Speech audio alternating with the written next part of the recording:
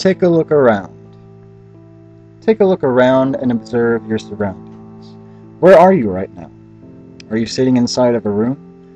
Is there anyone else with you? Are you all alone? Most sources indicate that the majority of people that read horror tales are by themselves.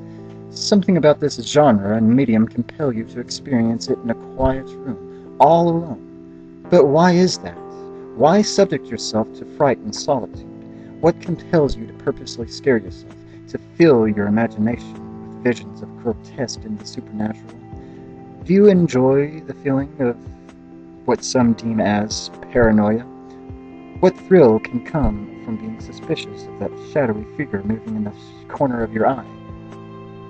That shadow that you think isn't anything. Listen closely. Is there a noise you hear that wasn't there before? Take a look around. Is there anything you didn't notice originally? Is there something different? Is something out of place? That feeling on your back of the neck. Is it your imagination, or is it just too faint to pinpoint?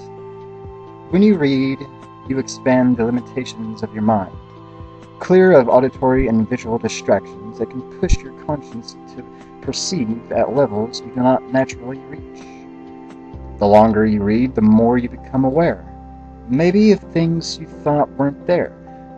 There is a reason why your brain would block all these sensations out. No one can, no one can be sure why. Maybe your mind is warning you. Maybe there are things you weren't meant to see.